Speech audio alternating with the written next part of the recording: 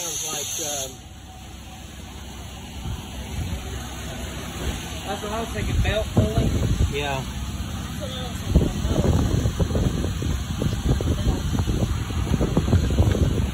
Sounds like coming from down road. We got 10 dang pulleys on this thing. It's, I replaced this, pulled, replaced it,